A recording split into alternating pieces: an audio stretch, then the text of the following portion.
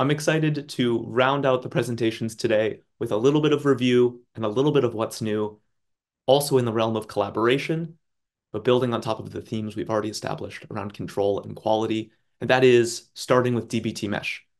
If you didn't catch it a few months ago, dbt mesh is a whole bunch of things. It's a pattern for collaboration at scale in dbt projects, multiple, large, small, everywhere.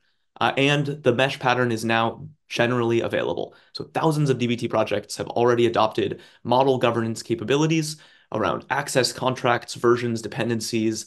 That's all old news. It's been out for several, several months now, and we have many, many people using them. We've also rolled out things like job completion triggers across projects, things like staging environments to enable data isolation, column level lineage across projects, and a bunch more things that are still to come in the coming months. I'm excited to show you some of this in a demo in just a few moments. But taking a step back and re remembering and reviewing what is DBT Mesh really? Well, it's enabling domain level ownership of data without compromising governance or creating silos. The interfaces between these projects that you're seeing on the right are well defined, well contracted, and they're the points of handoff between, in this case, the platform team, the finance team, and the marketing team. We've come along and sliced up the monolithic project you see on the left, but the references across models are still just ref. It's still just DBT. And going back to where we began today's presentation with my colleague Grace's uh, journey into the Wonka multiverse, I'd like to adopt for you all the guise of a member of the finance team at our chocolate factory.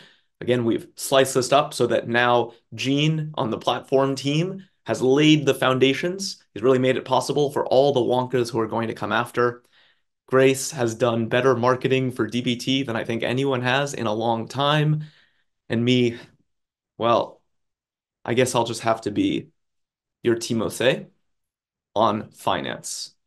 Let's go on a journey together, shall we? And please ignore the word Jaffle in the video you're about to watch. Uh, rebranding takes time.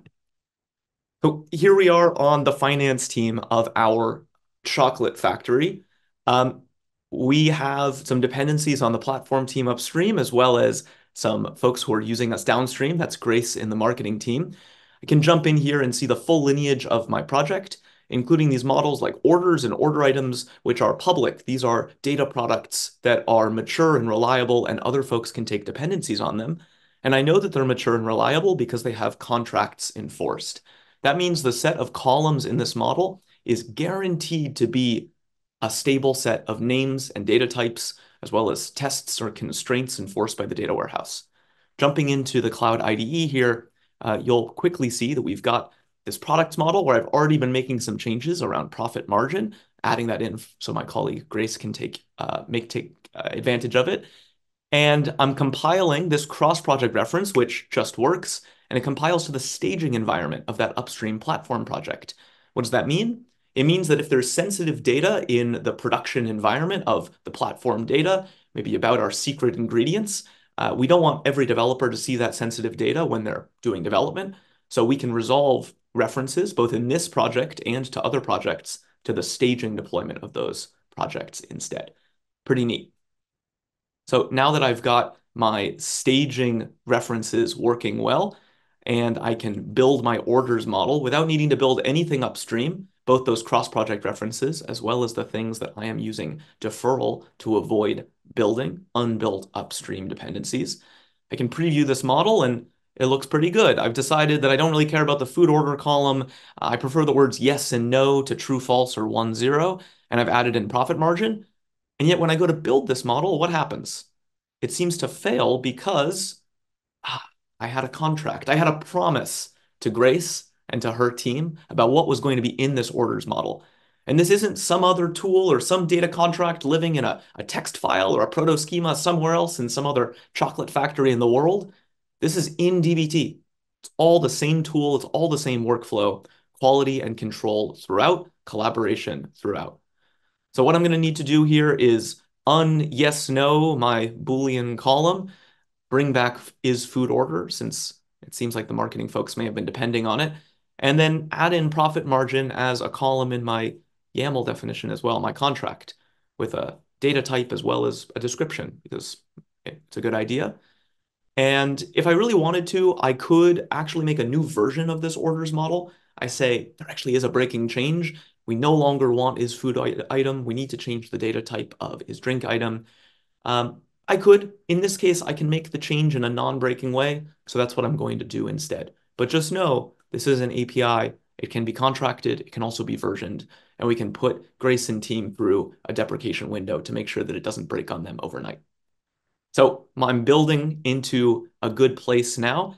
And once I've done that and deployed this model into that staging environment, I'll actually be able to check it out in the staging view of dbt Explorer. I haven't deployed it just yet, but as soon as I do, you'll see those changes showing up in that staging tab. Now, one more piece here, in addition to the staging environment that you already see, is the way that we can link together jobs within and across dbt projects thanks to job completion triggers. In this case, the job that we're looking at here was triggered to complete, or triggered to run rather, on the completion of that mesh platform staging deploy. We can do the same for production, and Grace and the marketing folks can do the same for us. In this way, we can have a deployment pattern that looks and feels a whole lot like the mesh we see in front of us today. It's a pattern for collaboration across development, deployment, all the way through. That's dbt Mesh in our uh, multiverse of chocolate factories. Thanks for bearing with me.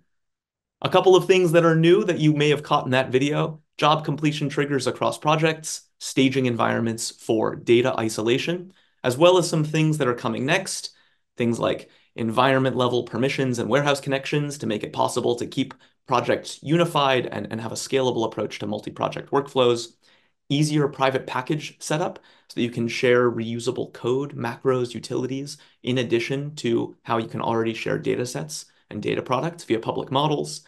And we're always baking more.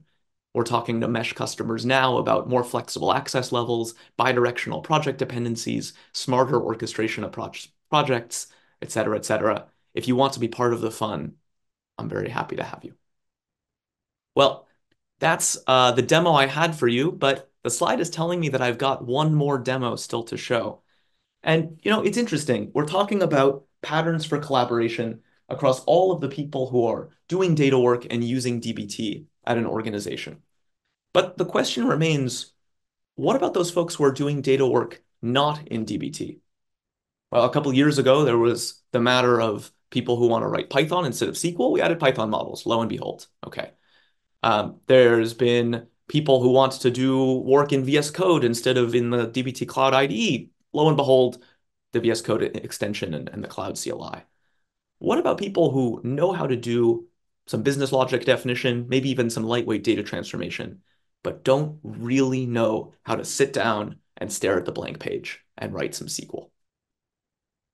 A few months ago, we started talking to data teams around the globe, and we heard a consistent theme DBT was helping them improve the quality, the reliability, the speed with which they could build transformation logic. And yet, for some analysts, jumping directly into a DBT model was still unfamiliar and challenging. Teams might have had low code transformation solutions to help, but these are really difficult to govern, to test, to version control. The code within them was unreliable. This lack of centralization creates risk and reliable metrics. And yet the work doesn't stop members of the business who need to be defining key business logic.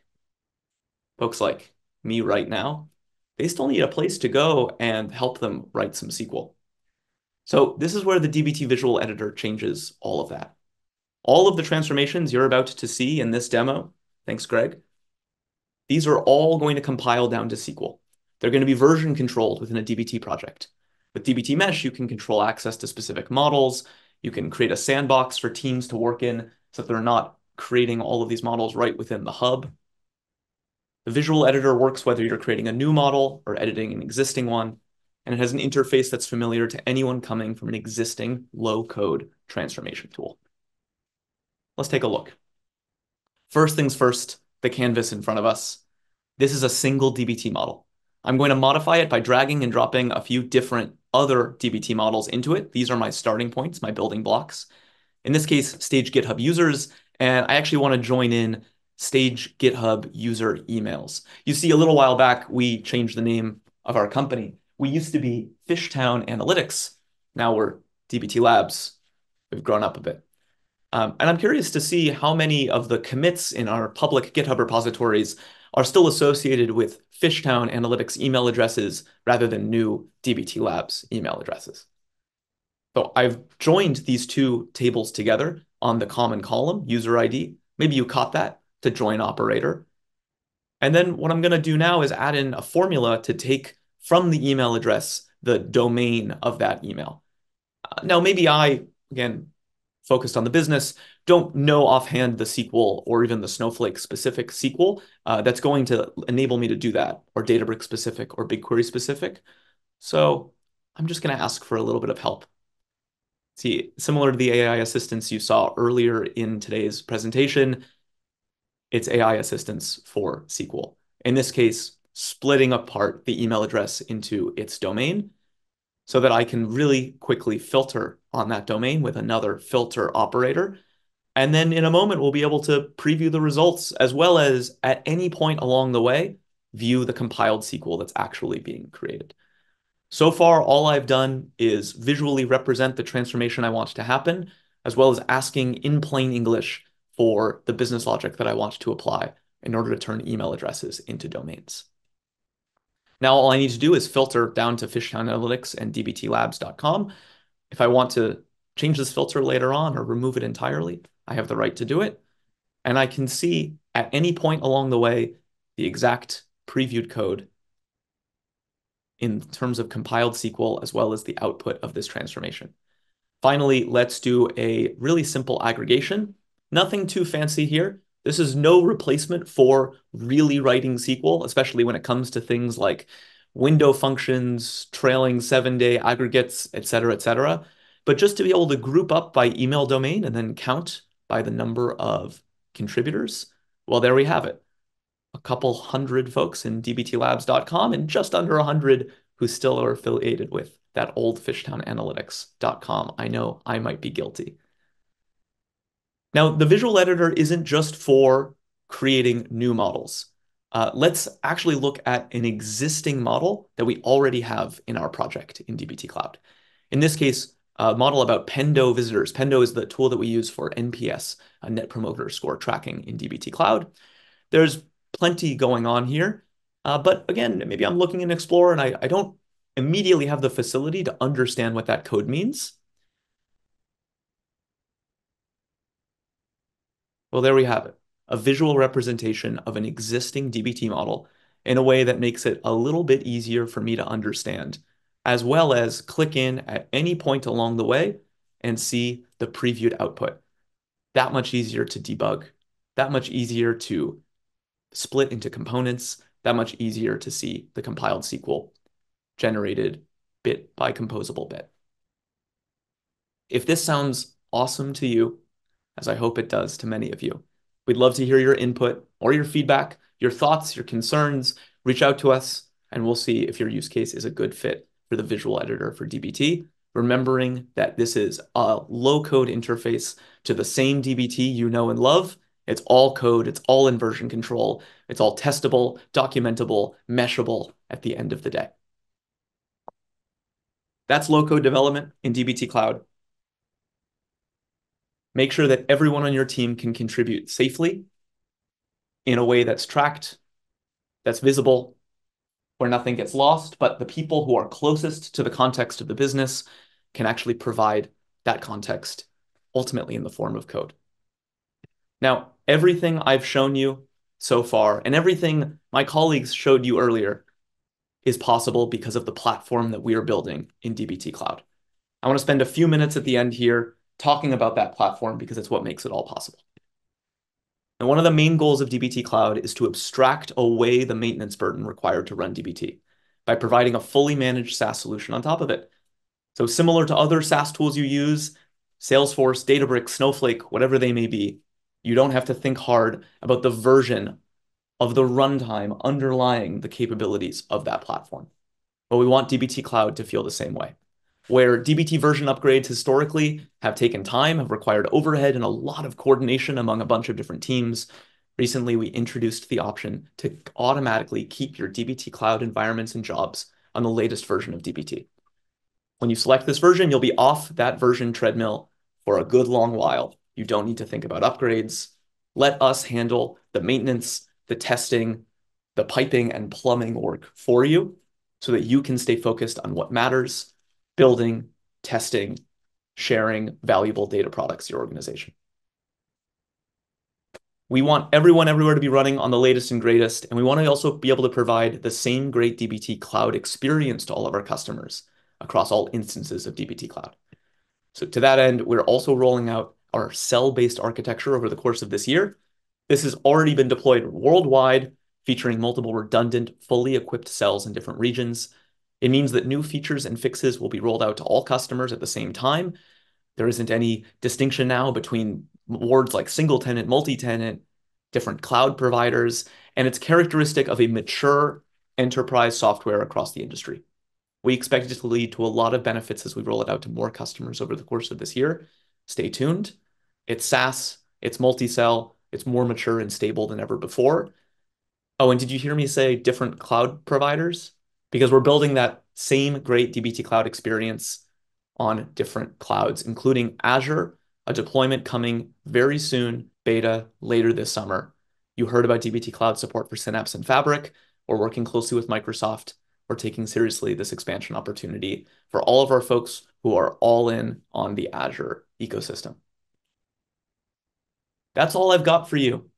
We talked about control and quality for our super users like Grace at the beginning, as well as the way that we can connect and expand that data availability to more people through end-to-end orchestration, through the semantic layer, through dbt Explorer, and finally, patterns for collaboration around dbt Mesh and a coming soon low-code development experience that allow you to invite more folks in to the powerful dbt workflow. Bring them into the fold.